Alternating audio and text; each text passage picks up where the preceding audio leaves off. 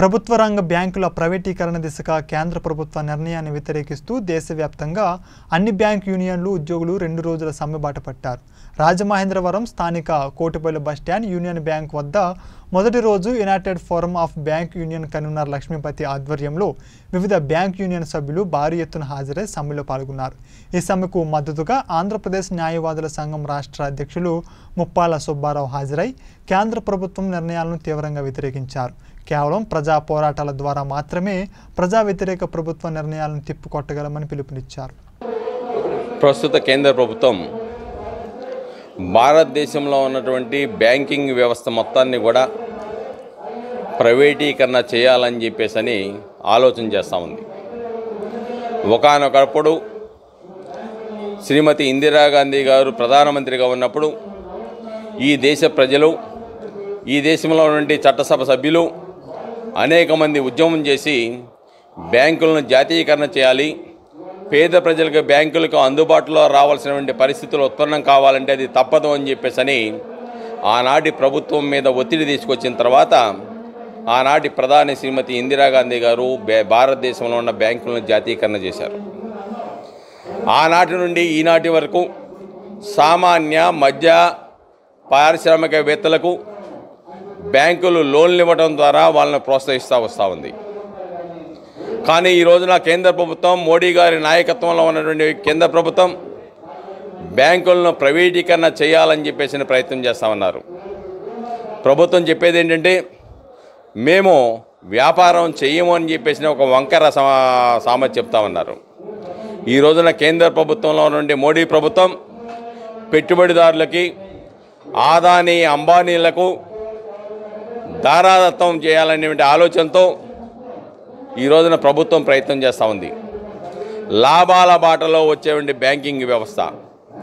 కోట్ల రూపాయలు లాభాలు వస్తున్న బ్యాంకింగ్ వ్యవస్థని ఆదాని అమ్మానీ లాంటి పెట్టుబడిదారుల యొక్క దారాదత్తం చేయడానికి ఈ రోజున కేంద్ర ప్రభుత్వం ప్రయత్నం చేస్తూ ఉంది ఇది బ్యాంకు ఉద్యోగుల సమస్య మాత్రమే కాదు ఈ దేశ ప్రజలందరి సమస్య పేద మధ్యతరగతి ప్రజానీకానికి బ్యాంకింగ్ వ్యవస్థ ప్రభుత్వ అధీనంలో ఉంటే వివిధ సంక్షేమ పథకాల ద్వారా కానివ్వండి లేకుంటే బ్యాంకుల ద్వారా ఇచ్చేవండి లోన్ల ద్వారా కానివ్వండి వాళ్ళు అభివృద్ధి చెందడానికి కావాల్సిన పరిస్థితులు ఉత్పన్నమవుతాయి కానీ ప్రైవేటు వ్యక్తులకు ధారాదత్తం చేస్తే తద్వారా సామాన్య ప్రజలకి బ్యాంకులు అందుబాటులో ఉండవు మధ్యతరగతి ప్రజానేకానికి బ్యాంకులు అందుబాటులో ఉండవు చివరికి అవి సామాన్య మధ్యతరగతి ప్రజానీకాన్ని దోచుకోవడానికి మాత్రమే ప్రైవేటు సంస్థలుగా మారతాయి తప్ప ఫర్ ది పీపుల్ అనే నినాదం మానేసి ఈ కేంద్ర ప్రభుత్వం ఫర్ ది క్యాపిటలిస్ట్ అనే పదానికి కట్టుబడి ఉందని చెప్పేసి ఇక్కడ మనం గమనించాలి ఈ రోజున బ్యాంకింగ్ వ్యవస్థే కాదు ఎల్ఐసి కానీ బిఎస్ఎన్ఎల్ కానీ ఇలాంటి రైల్వే కానీ ఇలాంటి ఆదాయ వనరులు వచ్చేవంటి సంస్థలన్నీ కూడా ప్రైవేటు వ్యక్తులకి ఆదానీకో అంబానీకో లేకుంటే ఈ కేంద్ర ప్రభుత్వంకి కేంద్ర ప్రభుత్వం ఉన్న పార్టీకి ఎన్నికల్లో చందాలు ఇవ్వడానికి ఏ పెట్టుబడిదారులు అయితే ఉన్నారో ఆ పెట్టుబడిదారుల యొక్కకి దాసోహమయ్యి ప్రజా వ్యతిరేక విధానాలు అవలంబిస్తూ ఉంది లక్షలాది మంది దేశవ్యాప్తంగా ఉన్న బ్యాంకింగ్ ఉద్యోగస్తులు కానీ వివిధ ట్రేడ్ యూనియన్లు కానీ మేధావులు కానీ సామాన్య ప్రజానీకం కానీ ఈ ప్రైవేటీకరణ వ్యతిరేకిస్తూ ఉన్నారు ప్రభుత్వం ఆ వ్యతిరేకతను గుర్తించకపోతే తీవ్ర పరిణామాలు ఎదుర్కోవాల్సిన పరిస్థితి ఉత్పన్నమవుద్ది ఒక పక్కన మనం చూసాం ఢిల్లీలో రైతులకు వ్యతిరేకంగా చేసినటువంటి మూడు నల్ల చట్టాలని తక్షణమే ఉపసంహరించుకోవాలని సంవత్సరం పాటు ప్రజా ఉద్యమం చేస్తే అది దేశవ్యాపితంగా కూడా విస్తరించే చివరికి ఏమీ చేయలేని పరిస్థితిలో కేంద్ర ప్రభుత్వం చట్టసభలలో చేసిన చట్టాన్ని సైతం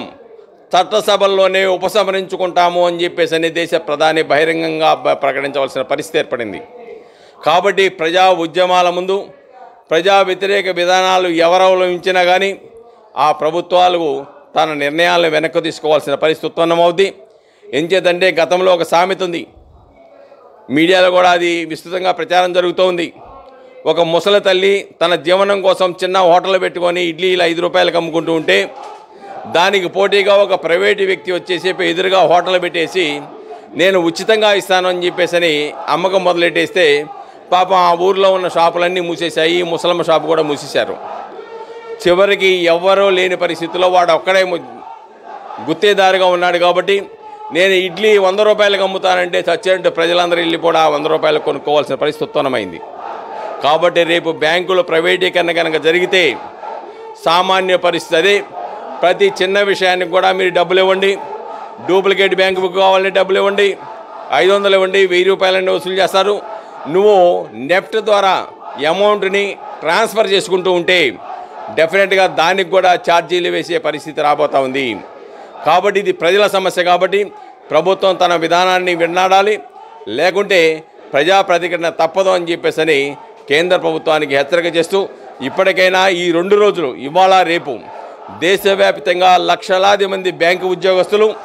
వాళ్ళ ఉద్యమానికి మద్దతిస్తున్న అనేక కార్మిక సంఘాలు మేధావులు అలానే ప్రజానీకాన్ని వాళ్ళ యొక్క నిరసనని పరిగణలో తీసుకు